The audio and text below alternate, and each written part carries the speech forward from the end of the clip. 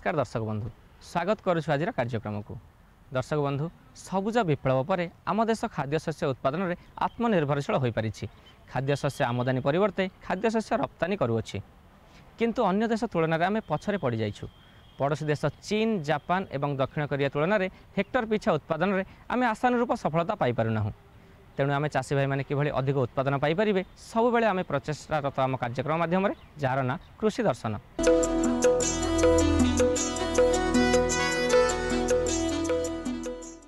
ଆମ ଚାଷୀ ଭାଇଟି ଫସଲ ଉତ୍ପାଦନ କଲା ପରେ ଉତ୍ପାଦିତ ଫସଲର ଯଦି ସଠିକ୍ ମୂଲ୍ୟ ନ ପାଏ ନିଶ୍ଚିତ ଭାବରେ କ୍ଷତି ସହିଥାଏ।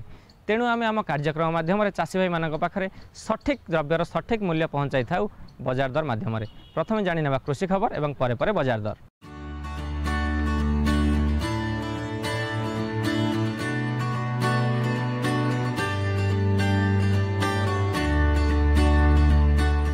ନମସ୍କାର। କୃଷି ଖବରକୁ ସ୍ୱାଗତ।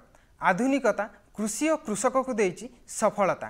ଆଜିର ଆଧୁନିକ ଯୁଗରେ ଆଧୁନିକ ଯନ୍ତ୍ରପାତି ସବୁ କାର୍ଯ୍ୟକୁ ସହଜ କରିପାରିଛି। ଆଗରୁ ଯେଉଁ କାର୍ଯ୍ୟ ସମ୍ପୂର୍ଣ୍ଣ ହେବା ପାଇଁ ଘଣ୍ଟା ଘଣ୍ଟା ସମୟ ଲାଗୁଥିଲା ଆଜି ତାହା କ୍ଷଣିକ ମଧ୍ୟରେ ସମ୍ଭବ ହୋଇପାରୁଛି। ଠିକ୍ ସେମିତି କୃଷିରେ ମଧ୍ୟ ଆସିଛି ପରିବର୍ତ୍ତନ।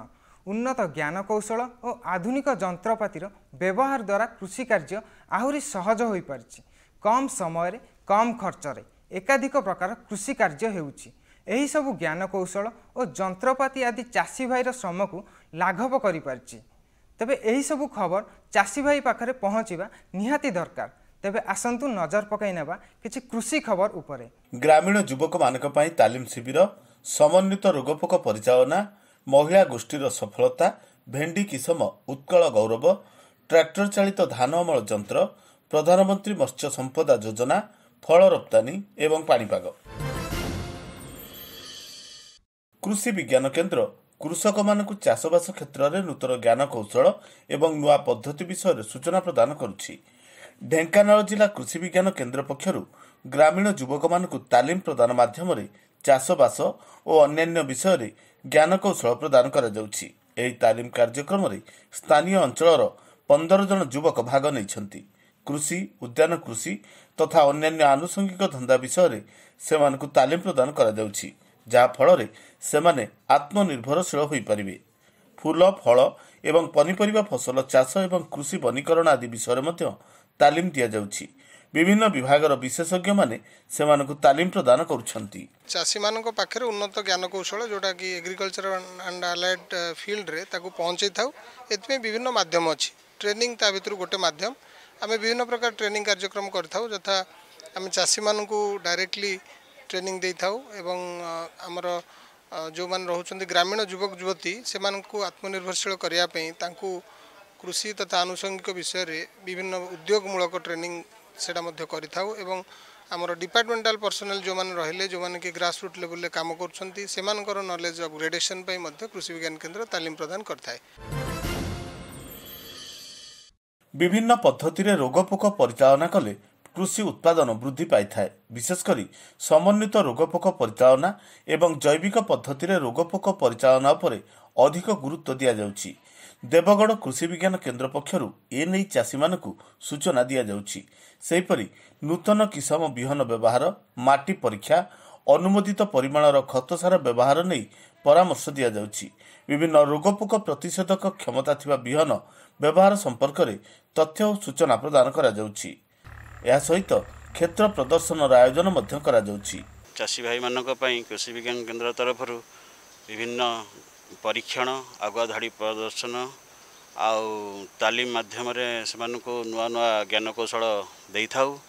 ବିଭିନ୍ନ ପ୍ରକାର ଏଇ କୃଷି ବିଜ୍ଞାନ କେନ୍ଦ୍ରରେ ବିଭିନ୍ନ ବିଭାଗର ବୈଜ୍ଞାନିକମାନେ ଥାଆନ୍ତି ଯଥା ଶସ୍ୟ ସଂରକ୍ଷଣ ଓ ଆପଣଙ୍କର ହର୍ଟିକଲଚର ବା ଉଦ୍ୟାନ ବିଭାଗ ଯାନ୍ତ୍ରିକ ବିଭାଗ ଏବଂ ମୃତ୍ତିକା ବିଭାଗ ଏବଂ ଅନ୍ୟ ଆନୁଷଙ୍ଗିକ କୃଷି ଏବଂ ଆନୁଷଙ୍ଗିକ ବିଭାଗର ବୈଜ୍ଞାନିକମାନେ ଥାଆନ୍ତି। ଏହି କୃଷି ବିଜ୍ଞାନ କେନ୍ଦ୍ର ଦେବଗଡ଼ରେ ନୂତନ ନୂତନ ଜ୍ଞାନ କୌଶଳକୁ ଆମେ ଚାଷୀ ଭାଇମାନଙ୍କ ପାଖରେ ପହଞ୍ଚାଇଥାଉ ବିଭିନ୍ନ ବିଭାଗ ମାଧ୍ୟମରେ ବିଭିନ୍ନ ବୈଜ୍ଞାନିକମାନଙ୍କର ପରୀକ୍ଷଣ ମାଧ୍ୟମରେ। ଆମ ରାଜ୍ୟର ମହିଳାମାନେ ଚାଷବାସ କ୍ଷେତ୍ରରେ ବେଶ୍ ସଫଳତା ହାସଲ କରିଛନ୍ତି। ଆଉ ଏହି ମାଆମାନେ ହେଉଛନ୍ତି ପୁରୀ ଜିଲ୍ଲା ସଦର ବ୍ଲକ ଅନ୍ତର୍ଗତ ବାଲିସାହି ଗ୍ରାମର। ସେମାନେ ଗଠନ କରିଛନ୍ତି ବାଲୁଙ୍କେଶ୍ୱର ସ୍ୱୟଂ ସହାୟକ ଗୋଷ୍ଠୀ। ଆଗରୁ ସେମାନେ ପନିପରିବା ଫସଲ ଚାଷ କରୁଥିଲେ କିନ୍ତୁ କରୋନା ସମୟରେ ଏହାକୁ ବନ୍ଦ କରି ଖେଳନା ତିଆରିରେ ଲାଗିଥିଲେ। ଏବେ ସ୍ଥିତି ସୁଧୁରିବାରୁ ପୁଣି ଋଣ ଆଣି ପନିପରିବା ଫସଲ ଚାଷ କରିଛନ୍ତି। କୋଶଳା ଶାଗ ବିକ୍ରି କରି ଦୁଇ ହଜାର ଟଙ୍କା ରୋଜଗାର କରିଛନ୍ତି। ଏବେ ମୂଳା ଲଗାଇଛନ୍ତି। ନାନା ପ୍ରକାର ଫସଲ ଚାଷ କରି ଆଗକୁ ଅଧିକ ଆୟ କରିବାର ସେମାନେ ଆଶା ରଖିଛନ୍ତି। ଏ କ୍ଷେତ୍ରରେ ନିଜର ସଫଳତା ଓ ଅଭିଜ୍ଞତା ବିଷୟରେ ଗୋଷ୍ଠୀର ଜଣେ ସଦସ୍ୟା କୁହନ୍ତି। ବାଲୁଙ୍ଗେଶ୍ୱର ସ୍ୱୟଂ ସହାୟକ ଗୋଷ୍ଠୀର ଏଗାର ଜଣ ସଭ୍ୟା ମିଶି ଆଗରୁ ପନିପରିବା ଚାଷ କରୁଥିଲୁ। ଏ କୋଭିଡ଼ ନାଇଣ୍ଟିନ୍ ଯୋଗୁଁ ତାହା କରି ହେଲାନି ସେଥିପାଇଁକା ଏବେ ପୁଣି ଥରେ ଆରମ୍ଭ କରିଛୁ କୋଶଳା କରି ଦୁଇ ହଜାର ଟଙ୍କା କୋଶଳା ବିକିଥିଲୁ। ଏବେ ମୂଳା ପକେଇଛୁ ମୂଳା ହେଇନି ଆସ୍ତେ ଆସ୍ତେ ଆର ମାସ ଆଡ଼ିକି ହେଇଯିବ ସେଗୁଡ଼ା ସବୁ। ଆଗରୁ ପନିପରିବା ଚାଷ କରି ଭଲ ଲାଭ ଦୁଇ ପଇସା ପାଉଥିଲୁ। ଏବେ କୋଭିଡ଼ ନାଇଣ୍ଟିନ୍ ସକାଶେ ଲକଡାଉନ୍ ହେବାରୁ ପନିପରିବା ସବୁ ନଷ୍ଟ ହେଇଯାଉଛି। ଆଉ କିଛି ବିକ୍ରି କରି- କରିପାରୁନୁ। ଏବେ ଲୋନ୍ କରିକିରି କିଛି ମଞ୍ଜି ମଞ୍ଜି ଆଣିକିରି ଚାଷ ଆରମ୍ଭ କରୁଛୁ। ଗଣିତରେ ଯେମିତି ଏକ ଛୋଟ ସୂତ୍ର ଜଟିଳ ପ୍ରଶ୍ନର ସମାଧାନ କରିବାରେ ସହଜ ହୋଇଥାଏ। ଠିକ୍ ସେମିତି କୃଷିରେ ଏମିତି କିଛି ଛୋଟ ଛୋଟ ଖବର ଅଛି ଯାହାଦ୍ୱାରା କୃଷି କାର୍ଯ୍ୟ ଆଗକୁ ବଢ଼ିବାରେ ସହଜ ହୋଇଥାଏ। ତେବେ ଆସନ୍ତୁ ଜାଣିବା କିଛି କୃଷି ଖବର ସଂକ୍ଷେପରେ। ଆମ ରାଜ୍ୟର ଜଳବାୟୁରେ ଚାଷ ଉପଯୋଗୀ ସାହେବୀ ରୋଗ ସହଣୀ ଶକ୍ତି ଥିବା ଭେଣ୍ଡି କିସମ ଉତ୍କଳ ଗୌରବ।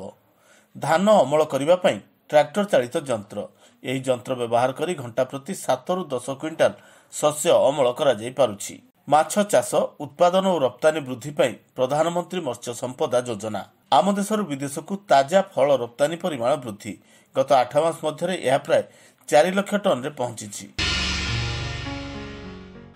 ବର୍ତ୍ତମାନ ସମୟ ଆସିଲାଣି ଯେ ଆମର ଯେଉଁ ଫସଲ ପର୍ଯ୍ୟାୟରେ ପରିବର୍ତ୍ତନ ବା ଆମେ କହୁଛେ ଯେ କ୍ରପ୍ ଡାଇଭର୍ସିଫିକେସନ୍ କ୍ରପ୍ ଡାଇଭର୍ସିଫିକେସନ୍ ର ଅର୍ଥ ହେଉଛି କିଭଳି ଭାବରେ ଆମେ ଯେ ଯେଉଁଟାକ କମର୍ସିଆଲ ବା ଆପଣଙ୍କର ବ୍ୟବସାୟ ଉପଯୋଗୀ ଫସଲ ଆମେ ଚାଷ କରିବାର ଆବଶ୍ୟକତା ଆମ ପାଖରେ ପଡ଼ିଲାଣି। ତେଣୁକରି ଏଇ ଯେଉଁ ବ୍ୟବସାୟ ଉପଯୋଗୀ ବା ଯେଉଁଗୁଡ଼ାକରେ ଆମର ବହୁତ ଅମଳ ଦେବ ବା ଭଲ ପଇସା ଚାଷୀକି ଦେବ ସେଇଭଳି ହିସାବରେ ଆମେ ଆମର ଜାଗାକୁ ବିନିଯୋଗ କରିବାର ଆବଶ୍ୟକତା ରହିଛି। ସେଥିପାଇଁ ଆଜିକାଲି ବହୁତ ଚାଷୀମାନେ ସବୁ ଫଳ ବଗିଚା ସୃଷ୍ଟି କରିବା ପାଇଁ ଚାହିଁଲେଣି। ତେଣୁକରି ଯଦି ଆମେ ଗୋଟେ ଭଲ ଫଳ ବଗିଚା ସୃଷ୍ଟି କରିବା ତାହେଲେ କି କି ପ୍ରତି ଆମକୁ ଧ୍ୟାନ ଦେବାକୁ ପଡ଼ିବ ବା କେଉଁ କେଉଁ ଦିଗ ପ୍ରତି ଆମକୁ ଯତ୍ନବାନ ହେବାକୁ ପଡ଼ିବ ସେ ବିଷୟରେ ବର୍ତ୍ତମାନ ଆମେ ଆଲୋଚନା କରିବା। ଆମେ ଦେଖିବା ଯଦି ଯେଉଁଠି ପର୍ଯ୍ୟାପ୍ତ ପରିମାଣରେ ସୂର୍ଯ୍ୟ କିରଣ ପଡ଼ୁଛି ଛାଇ ନାହିଁ ଏବଂ ଉଚ୍ଚା ଜମି ଅଛି ଯେଉଁଥିରକୁ ପାଣି ନିଗିଡ଼ି ଯାଉଛି ସେଇଭଳିଆ ଜମି ସାଧାରଣତଃ ଫଳ ଚାଷ ପାଇଁ ଉପଯୋଗୀ। ତେଣୁକରି ଏହି ପ୍ରକାର ଜମିରେ ଆମେ ଯେତେବେଳେ ଚିହ୍ନଟ କରିବା ସେଇଟା ଯଦି ଆପଣଙ୍କର ଗ୍ରାମଠାରୁ ବା ଆ, ପରିବେଶ ଠାରୁ ଟିକିଏ ଦୂର ହୋଇଥିବ ଗାଁ ଗାଁ ଗଣ୍ଡାଠାରୁ ଆହୁରି ଭଲ। କାହିଁକିନା ଗାଁ ଗଣ୍ଡାରେ ଯେଉଁ ପ୍ରକାର ସବୁ ଗାଈ ଗୋରୁ ଛେଳି ମେଣ୍ଢାର ଉପଦ୍ରବ କରନ୍ତି ସେଇଟା ମଧ୍ୟ ଆପଣଙ୍କ ପ୍ରତି କିଛି କ୍ଷତି କରିପାରିବ ନାହିଁ ଯଦି ଆମେ ଗାଁଠାରୁ ଟିକିଏ ଦୂରରେ ଆମର ବଗିଚା କରିବା। ଆଉ ବଗିଚା କରିବା ପାଇଁ ହେଲେ ପ୍ରଥମେ ଆମକୁ ଧ୍ୟାନ ଦେବାକୁ ପଡ଼ିବ ବାଡ଼ବନ୍ଦୀ। ବାଡ଼ବନ୍ଦୀର ଅର୍ଥ ହେଉଛି ଆପଣଙ୍କର ଗଛକୁ ସୁରକ୍ଷା ଦେବା ପାଇଁ ଆପଣଙ୍କର ବାହାର ଶତ୍ରୁ ବା ଆପଣଙ୍କର ଗାଈ ଗୋରୁ କୁହନ୍ତୁ ତାଙ୍କର ଦୌରାତ୍ମ୍ୟରୁ ରକ୍ଷା କରିବା ପାଇଁ ଏବଂ ଚୋରି ଇତ୍ୟାଦିରୁ ରକ୍ଷା ପାଇଁ ଆପଣଙ୍କୁ ପରମାନେଣ୍ଟ ଫେନ୍ସିଂ ବୋଲି ଆମେ କହୁଛେ ବାଡ଼ କରିବାକୁ ପଡ଼ିବ। ଦ୍ୱିତୀୟ କଥା ହେଉଛି ଜଳସେଚନ କାରଣ ଆମେ ଜାଣିଛେ ଯେ ଜଳ ବିନା ପ୍ରାଣୀ ଜଗତ କ'ଣ ଗଛପତ୍ର କୌଣସି ମଧ୍ୟ ବଞ୍ଚିବା ସମ୍ଭବ ନୁହେଁ। ତେଣୁକରି ଜଳର ଉତ୍ସ ଆମକୁ ତିଆରି କରିବାକୁ ପଡ଼ିବ। ସେଇଟା ଆପଣଙ୍କର ଡିପ୍ ବୋରୱେଲ୍ ହେଉ କି ସ୍ୟାଲୋ ଟ୍ୟୁବୱେଲ୍ ହେଉ କି ଆମର ପୋଖରୀ ହେଉ ଏବଂ ଯେକୌଣସି କିମ୍ବା ଯଦି ଆମର ପାଖରେ ନଦୀ ନାଳ ଅଛି ତାଠୁ କେମିତି ରିଭର ଲିଫ୍ଟରୁ ତ କରିକିରି ଆମେ କେମିତି ପାଣି ଏ, ଆମେ ପାଣିର ବନ୍ଦୋବସ୍ତ ସୁବନ୍ଦୋବସ୍ତ କରିବାକୁ ପଡ଼ିବ। ଏଇଟା ହେଉଛି ଦ୍ୱିତୀୟ ପ- ପ- କଥା ଆମକୁ ଧ୍ୟାନ ଦେବାକୁ ପଡ଼ିବ। ତୃତୀୟ କଥା ହେଉଛି ବଗିଚା ଭିତରେ ଆପଣଙ୍କର ବଗିଚାର ଜଗା ରଖା କରିବା ପାଇଁ ଆପଣଙ୍କର ଖତ ସାର ରଖିବା ପାଇଁ ଆପଣଙ୍କର ଯେତେ ବଗିଚାର ଆମେ ଇନପୁଟ୍ କହୁଛେ ଆମର ସାମଗ୍ରୀ କହୁଛେ ସେ ସାମଗ୍ରୀ ଗୁଡ଼ାକ ରଖିବା ପାଇଁକି ଆମକୁ ଘର କରିବାକୁ ପଡ଼ିବ। ଗୋଟେ ଗୋଡାଉନ୍ ଏବଂ ଆଉ ଗୋଟେ ହେଉଛି ୱାଚମ୍ୟାନ୍ ସେଡ୍ ଏ ଦୁଇଟାର ମଧ୍ୟ ଆବଶ୍ୟକତା ଆପଣଙ୍କୁ ରହିଛି।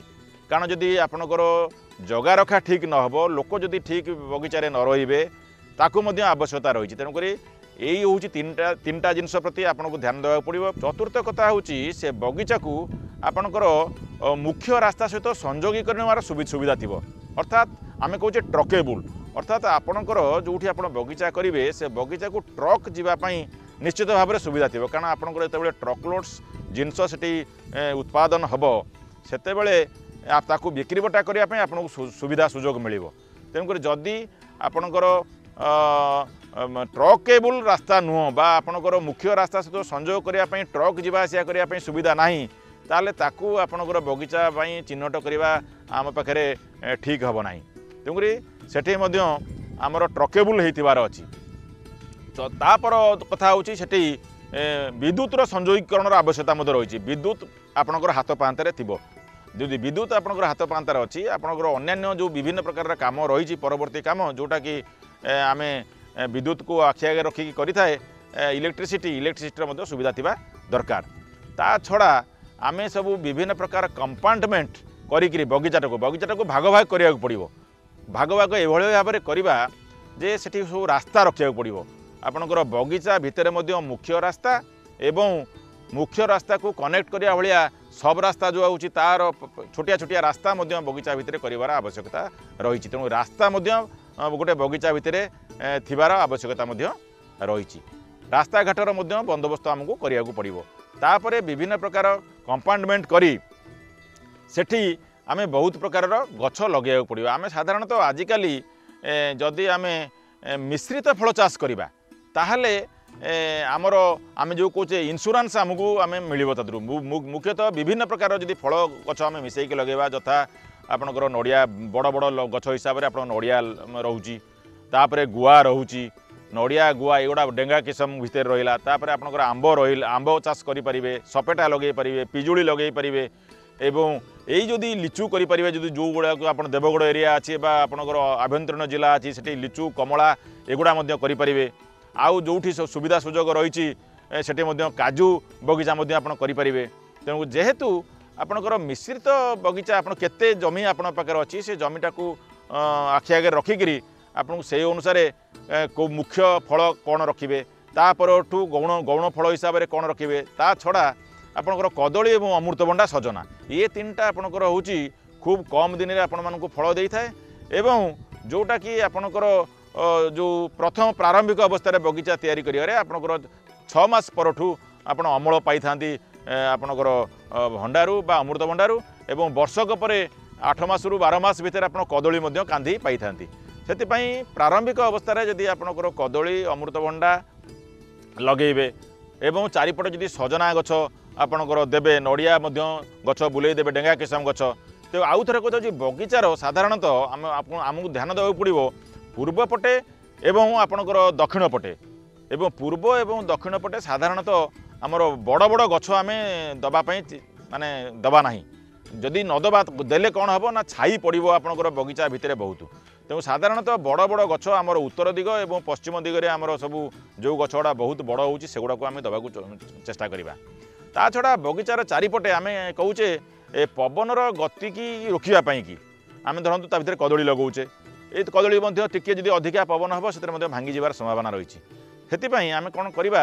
ନା ସବୁ ପବନ ରୋଧକ ଗଛ ଯେଉଁମାନେ ଅଛି ୱିଣ୍ଡ ବ୍ରେକର୍ସ ବୋଲି ଆମେ କହୁଛେ ସେଥିରେ ଆପଣଙ୍କର ଝାଉଁ ହେଲା ସେଥିରେ ଆପଣଙ୍କର ଆକାଶୀୟ ମ୍ୟାଞ୍ଜିୟମ୍ ହେଲା ୟୁକାଲିପଟ୍ସ ହେଲା ଏଇଗୁଡ଼ାକ ସବୁ ଆପଣଙ୍କର ଯଦି ବାଡ଼େରେ ଦେବେ ସାଧାରଣତଃ ଦକ୍ଷିଣ ଦିଗ ଦକ୍ଷିଣ ଦିଗରେ ଦକ୍ଷିଣ ଦିଗରେ ଦେଲେ କ'ଣ ହେବ?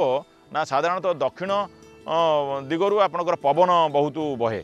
ତ ପବନକୁ ଆପଣଙ୍କର ଯଦି ଛଡ଼ା ଛଡ଼ାରେ ଦେବେ ସେଥିରେ ଆପଣଙ୍କର କ୍ଲୋଜର ସ୍ପେସିଂ ଦେବେ ଏବଂ କିଛି ହାଇଟ୍ ଗଲା ପରେ ତାକୁ କାଟିକିରି ମେଣ୍ଟେନ୍ କରି ରଖିବେ ତାହେଲେ ଆଉ ଯେଉଁଟାକି ବେଶୀ ଡାଳ ବା ଶାଖା ପ୍ରଶାଖା ହେଉନଥିବ ସେଇ ପ୍ରକାର ଗଛ ଆପଣ ପବନର ରୋଧକ ହିସାବରେ ଗତି ରୋଧକ ହିସାବରେ ଆପଣ ବ୍ୟବହାର କରିପାରିବେ।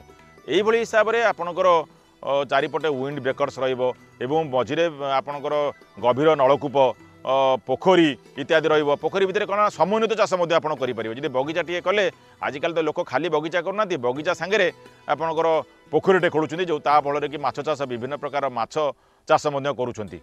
ବିଭିନ୍ନ ପ୍ରକାର ଯେଉଁ ଆମେ ସମନ୍ୱିତ ମାଛ ଜାଆଁଳ ଛାଡ଼ିକିରି ତା ଭିତରେ ଭାକୁର ହେଲା ରୋହି ହେଲା ମିରିକାଳି ହେଲା ଗ୍ରାସ୍ କାର୍ପ ହେଲା ଏସବୁ ଜିନିଷ ବିଭିନ୍ନ ପ୍ରକାରର ସମନ୍ୱିତ ମାଛ ଚାଷ ମଧ୍ୟ ତା ଭିତରେ ଲୋକ କରୁଛନ୍ତି।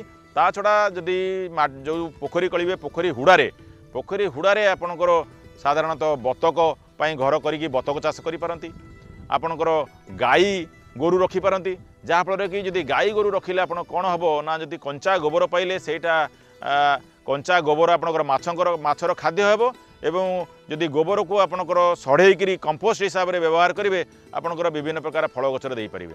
ଏବଂ ପ୍ରାରମ୍ଭିକ ଅବସ୍ଥାରେ ଯେଉଁ ବଗିଚା ସୃଷ୍ଟି କରିବେ ସେଠି ଯେତେବେଳେ ଗଛର ଛାଇ ଯେତେବେଳେ ପର୍ଯ୍ୟନ୍ତ ନ ହୋଇଛି ଗୋଟେ ଗଛର ଅନ୍ୟ ଗଛର ଛାଇ ନ ହୋଇଛି ତା ଭିତରେ ଅନାୟାସରେ ଆପଣ ପନିପରିବା ଚାଷ ମଧ୍ୟ କରିପାରିବେ। ଏଇଭଳି ଯଦି ପନିପରିବା ଚାଷ କଲେ ପ୍ରତ୍ୟେକ ଆପଣଙ୍କର ବଗିଚା ଆରମ୍ଭଠୁ କରିକି ପ୍ରତିବର୍ଷ ମଧ୍ୟ କିଛି କିଛି ଅମଳ ପାଇବେ। ଯେତେବେଳେ ଆପଣଙ୍କର ତିନି ଚାରି ବର୍ଷ ପରେ ଆମ୍ବ ସପେଟା ଯେତେବେଳେ ଆପଣଙ୍କର ଆସିଲା କି ଏସବୁ ଜିନିଷ ଆସୁଛି ତା ପୂର୍ବରୁ ମଧ୍ୟ ପନିପରିବା ଆକାରରେ ମଧ୍ୟ ଆପଣ କିଛି ପାଇପାରିବେ। ଖାଲି ସେତିକି ନୁହେଁ ଗଛ ବଡ଼ ହୋଇଗଲା ପରେ ମଧ୍ୟ ବଗିଚା ଭିତରେ ଆପଣ ଅନ୍ତଃଫସଲ ହିସାବରେ ସପୁରି ଲଗାଇ ପାରିବେ। ସପୁରି ଯଦି ଆପଣ ଚାଷ କରନ୍ତି ସପୁରିରୁ ମଧ୍ୟ ବହୁତ ଆପଣ ଲାଭବାନ ହେଇପାରିବେ। ଆମର ଲୋକମାନେ ଜାଣିବା ପାଇଁ କି ଦେଖିବେ ଭୁବନେଶ୍ୱର ପାଖରେ ସବୁ ଅଛି ମାନେ ଓଡ଼ିଶା କୃଷି ଓ ବୈଷୟିକ ବିଶ୍ୱବିଦ୍ୟାଳୟର ଗବେଷଣା କେନ୍ଦ୍ର ମଧ୍ୟ ରହିଛି ତାଙ୍କର ମଧ୍ୟ ବଗିଚା କରିଛନ୍ତି। ପାଖରେ ମଧ୍ୟ ଆପଣଙ୍କର ସେଣ୍ଟ୍ରାଲ ହର୍ଟିକଲଚର ଏକ୍ସପେରିମେଣ୍ଟ ଷ୍ଟେସନ ରହିଛି ଯେଉଁଟା ଆପଣଙ୍କର ଆଇସିଆର୍ ସଂସ୍ଥାର। ସେଠି ମଧ୍ୟ ବଢ଼- ବଢ଼ିଆ ବଗିଚା କରିଛନ୍ତି। ଆପଣମାନଙ୍କର ଅନୁଭୂତି ପାଇଁ ଆପଣଙ୍କର ଯେଉଁ କହନ୍ତି ନିଜେ ଆଖିରେ ଦେଖିବା ପାଇଁ ଆପଣ ସେଇ ବଗିଚାମାନଙ୍କୁ ମଧ୍ୟ ବଗିଚା କରିବା ପୂର୍ବରୁ ଆପଣ ଯାଇକି ବୁଲିକିରି ଦେଖନ୍ତୁ ତାଙ୍କ ସହିତ ବାକ୍ୟ ବିନିମୟ କରନ୍ତୁ ଆପଣଙ୍କର କଥାବାର୍ତ୍ତା ଆଦା- ଆଦାନ ପ୍ରଦାନ କରନ୍ତୁ ଏବଂ ସମସ୍ତେ ଆଜିକାଲି ଯେଉଁ କ୍ରପ୍ ଡାଇଭର୍ସନ୍ ହେଉଛି ସେ କ୍ରପ୍ ଡାଇଭର୍ସନ୍ରେ ଆପଣଙ୍କର ସମନ୍ୱିତ କୃଷି ପଦ୍ଧତିକି ଆପଣେଇ ବଗିଚା ତିଆରି କରନ୍ତୁ ଏବଂ ଆଗାମୀ ଦିନମାନଙ୍କରେ ଚାଷୀମାନେ ନିଶ୍ଚିତ ଭାବରେ ଏଥିରେ ଲାଭବାନ ହେବ ଏବଂ ଚାଷୀଙ୍କର ଆୟ ନିଶ୍ଚିତ ଭାବରେ ଦ୍ୱିଗୁଣିତ ହେବ। ଏଥିରେ କୌଣସି ସନ୍ଦେହର ଅବକାଶ ନାହିଁ।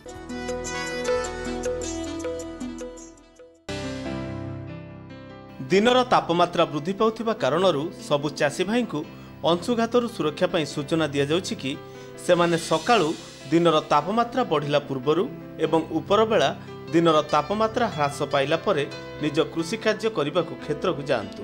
ଆବଶ୍ୟକ ସ୍ଥଳେ ଯଦି ନିହାତି ଜରୁରୀ ଥାଏ ତେବେ ନିଜ ସାଙ୍ଗରେ ଓଦା ଗାମୁଛା ଛତା ଚପଲ ଏବଂ ପାଣି ବୋତଲ ନେବା ଆବଶ୍ୟକ। କ୍ଷେତରେ କାମ କରୁଥିବା ପ୍ରାଣୀମାନଙ୍କୁ ମଧ୍ୟ ନିର୍ଦ୍ଦିଷ୍ଟ ବ୍ୟବଧାନରେ ଯଥେଷ୍ଟ ପରିମାଣର ପାଣି ପିଆଇବା ଆବଶ୍ୟକ। ପ୍ରାଣୀ ପାଳନ କରୁଥିବା କୃଷିଜୀବୀମାନେ ନିଜର ଗୃହପାଳିତ ପ୍ରାଣୀମାନଙ୍କୁ ଖରା ବଢ଼ିବା ପୂର୍ବରୁ ଘରକୁ ଫେରାଇ ଆଣିବା ଏବଂ ଯଥେଷ୍ଟ ପରିମାଣର ପାଣି ପିଆଇବା ଆବଶ୍ୟକ। जोखिम से निकल कर फ़सल आए सुरक्षित हो जाए। फ़सल बीमा से हर किसान अब आत्मनिर्भर हो जाए। अब सूखा पड़े या बाढ़ आ जाए कोई डर नहीं। अब ओले पड़े या कीट पतंगे फ़सल खा जाए कोई फ़िक्र नहीं। अब कैसी भी आपदा हमारी फ़सल पे आ जाए क्षति होने पर हमारे दावों का उचित भुगतान मिलता है क्योंकि हमने लिया है प्रधानमंत्री फ़सल बीमा। बुआई से फ़सल कटाई तक हर जोखिम का दावा। न्यूनतम प्रीमियम पर अधिकतम भुगतान का वादा। योजना से हर साल जुड़ रहे हैं पाँच करोड़ से ज़्यादा किसान। अब आपकी है बारी। नजदीकी कृषि कार्यालय सहकारी समिति बैंक शाखा अधिकृत बीमा कंपनी या जन सेवा केंद्र में स्वेच्छा से करा सकते हैं पंजीकरण। फ़सल बीमा पोर्टल या फ़सल बीमा ऐप द्वारा भी किया जा सकता है पंजीकरण। प्रधानमंत्री फ़सल बीमा योजना आपकी फ़सलों का संपूर्ण सुरक्षा कवच। कृषि एवं किसान कल्याण मंत्रालय भारत सरकार।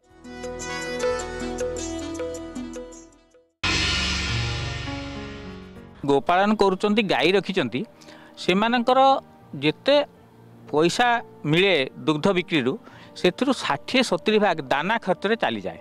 କିନ୍ତୁ ଅନ୍ୟପକ୍ଷରେ ହିସାବରେ ଦେଖାହେଇଛି ଯଦି ତିନି କୁଇଣ୍ଟାଲ ଓଜନର ଗୋଟେ ଗାଈକୁ ତିରିଶ କିଲୋ ସୁଷମ ସବୁଜ ଘାସ ଦିଆହେବ ତାହେଲେ ପାଞ୍ଚ ଛଅ ଲିଟର କ୍ଷୀର ଦେଉଥିବା ଗାଈକୁ ଆଉ ଦାନା ଦେବା ଦରକାର ନାହିଁ।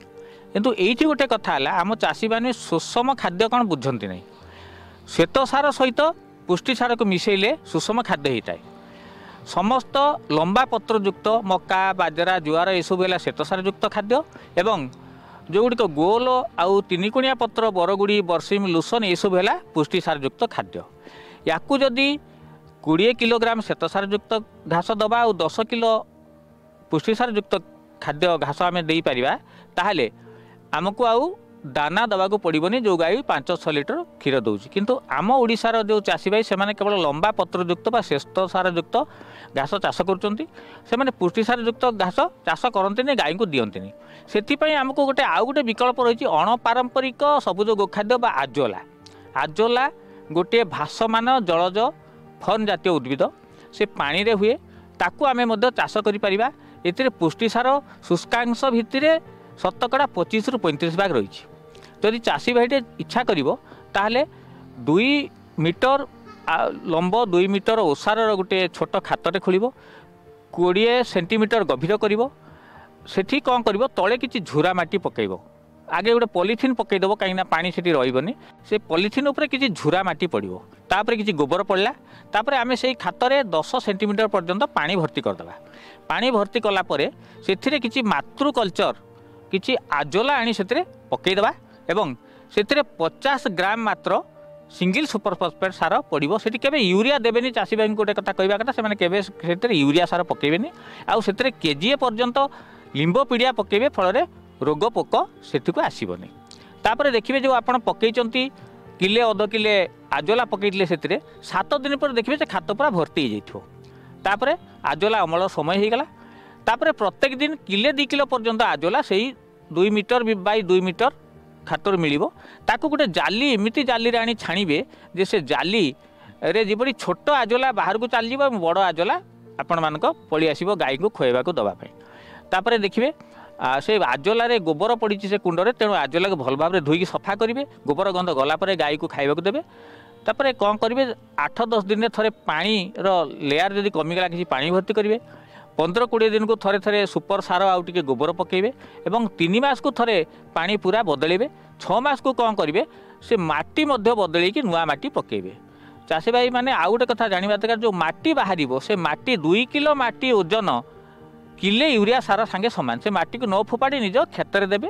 ଆଉ ଆଜୋଲା ଯେଉଁମାନେ ଚାଷ କରୁଛନ୍ତି ଦେଖିବେ ପନ୍ଦର ଡିଗ୍ରୀ ସେଣ୍ଟିଗ୍ରେଡ଼ରୁ ପଇଁତିରିଶ ଡିଗ୍ରୀ ସେଣ୍ଟିଗ୍ରେଡ଼ ମଧ୍ୟରେ ଆଜୋଲା ଭଲ ହୁଏ। ତେଣୁ ଭଲ ଆଜୋଲା ହେବା ପାଇଁ ତାପମାତ୍ରା ନିୟନ୍ତ୍ରଣ କରିବା ପାଇଁ ଆର୍ଦ୍ରତା ନିୟନ୍ତ୍ରଣ କରିବା ପାଇଁ ତା ଉପରେ ଗ୍ରୀନ୍ ନେଟ୍ ବା ଗ୍ରୀନ୍ ନେଟ୍ ଯଦି କଭର କରିଦେବେ କିମ୍ବା ଗଛ ଛାଇରେ ଯଦି ପକାଇବେ ଆଜୋଲା କୁଣ୍ଡ କରିବେ ତାହେଲେ ବହୁତ ଭଲ। ଆଉ ଯେଉଁ ଚାଷୀ ଭାଇମାନେ ଆଜୋଲା ଚାଷ କରିବେ ଯେତେବେଳେ ଗାଈକୁ ଖାଇବାକୁ ଦେବେ ଦୁଇ କିଲୋ ଆଜୋଲା ଯଦି ଦେଇପାରିଲେ ତାହେଲେ ଏକ କିଲୋ ଦାନା କମେଇ ପାରିବେ। ଆଉ ଯଦି ଶଙ୍କର ହାତିଆ ସହିତ ଆଜୋଲା ମିଶାଇ ଖୁଆଇବେ ତାହେଲେ ଦାନା ଖର୍ଚ୍ଚ ବହୁତ କମିଯିବ।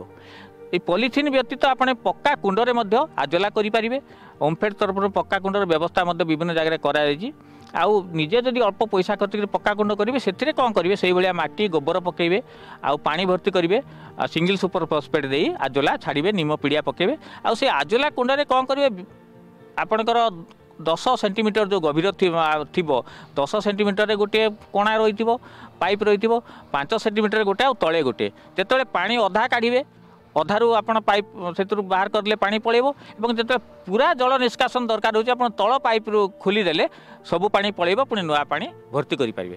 ତେଣୁ ଆଜୋଲା ପାଇଁ ବିଭିନ୍ନ ଜାଗାରେ ସୁବିଧା ସୁଯୋଗ ରହିଛି।